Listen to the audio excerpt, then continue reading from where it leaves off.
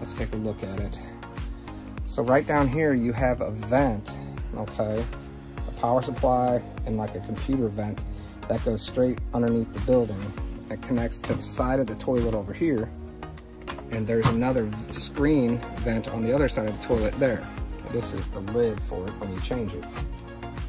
I have a one-way valve right here for the urine instead of emptying it into a container and, and constantly having to drain it. Um, this only goes down one way. Okay, so you lift up the toilet seat right there, it keeps a vacuum on it.